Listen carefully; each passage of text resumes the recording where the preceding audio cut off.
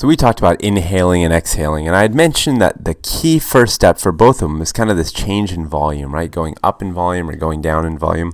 But I didn't really talk about how that happens exactly, so I thought I would kind of jump into that now. And let me begin by telling you that in the middle of your chest, you have this enormous kind of bone that goes down. And I'm drawing it out of proportion just to make it very clear where this bone is. But you can go ahead and feel on your own body this bone, which we call either the breastbone or the, the more technical name is the sternum. So I'll write that down here.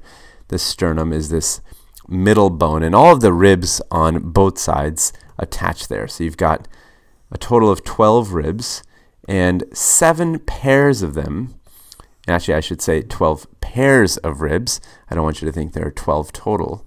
We actually have 24 total and 7 pairs of the ribs. So 14 ribs actually attach directly to this bone, this sternum bone. So in white, these are the ribs. And between the ribs, you actually have muscles. So I'm going to draw in some of these muscles between the ribs. And these muscles are all going to have their own nerve that allows them to contract. So these muscles are controlled by your body or your brain, and their name, let me just jot down here on the side, is intercostal muscle. And inter just means between, so this is the name of the muscle. And costal refers to the ribs. So when you see that word costal, you'll know we're talking about the ribs. So what's between the ribs is these muscles, intercostal muscles, and they're going to start moving outwards when your brain says, hey, I want to take a deep breath. So these muscles are going to contract, and uh, the ribs, I should say, are going to move outwards. So these go out, and you also have, let me just make a little bit of space on this canvas, you also have another muscle that kind of rides down here and has kind of a an upside down U shape to it. So I'm drawing it kind of like a dome. You can think of it as a dome. And this dome is the floor, if you remember we talked about the floor of the thorax. So this is of course our diaphragm muscle. So we've got our diaphragm muscle, and this one when it contracts it's going to go, instead of going out, it's going to go down. So it's going to kind of flatten out. And I can actually draw this. If you can now just uh, stick with me for a moment, I'm going to erase this dome-like shape, and I'm going to draw it what it looks like as it contracts. So when it contracts, it's actually going to be more flat. And this flat diaphragm, as you can see, is now further down than it used to be. And as it goes down, all of the structures that are inside this space, so the two lungs, and of course I didn't draw the heart here, but the heart would be kind of in this cardiac notch. Um, if you want, maybe I could even draw that heart here. This is our heart here. They're all going to kind of physically move down. So this is our heart and our lungs. They're physically going to be kind of drawn downwards and out. They're going to also move out as the um, as the uh, intercostal muscle moves uh, move out.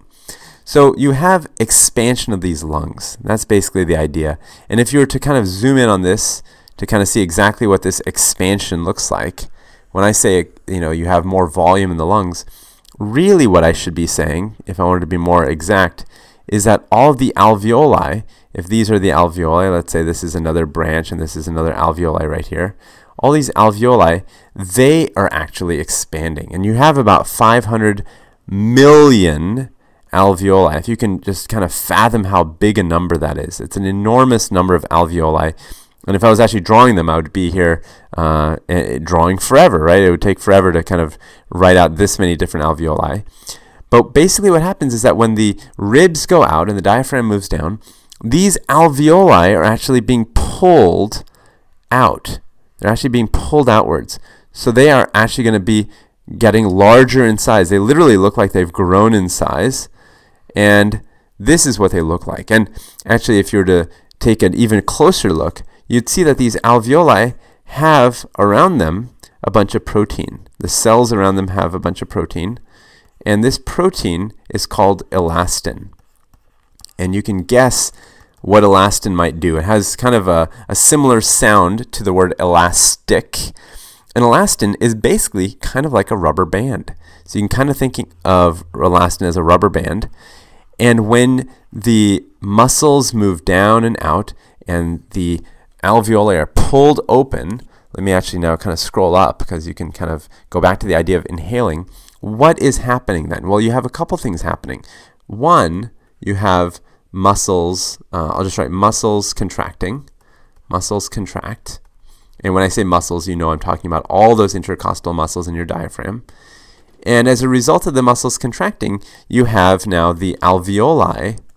Alveoli are stretched open. So those rubber bands, those elastin um, proteins, are literally physically being stretched open. So the alveoli are stretched open.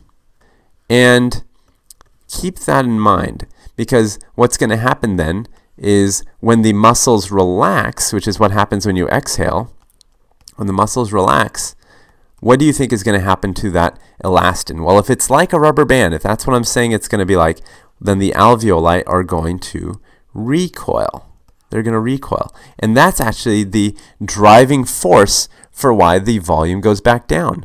So if you have a bunch of rubber bands that you're stretching out, let me actually bring up the picture, you'll see it really clearly.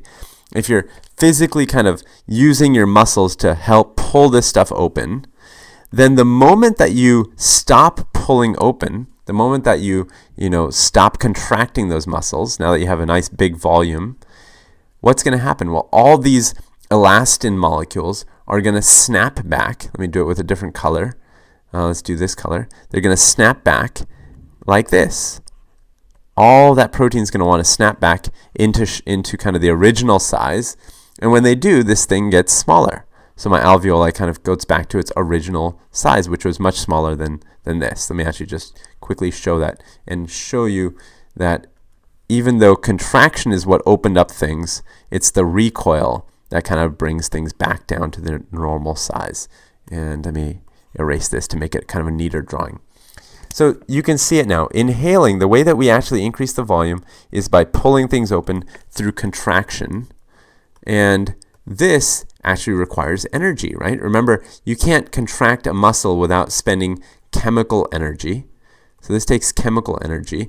And we usually think of this molecule ATP as the specific type of chemical energy we're going to use. And to exhale, when you reduce the volume, it's going to be driven by this elastic recoil. So that's a type of elastic, elastic potential energy. So this process of kind of inhaling and exhaling is really a little different from each other. On the one hand, you're using ATP, you're actually burning through these molecules. And then when you exhale, you're actually not using chemical energy anymore. You're just using that elastic potential energy. Kind of the same sort of energy that you can imagine uh, you would have if you snap a rubber band. So let's uh, stop there and we'll pick up in the next video.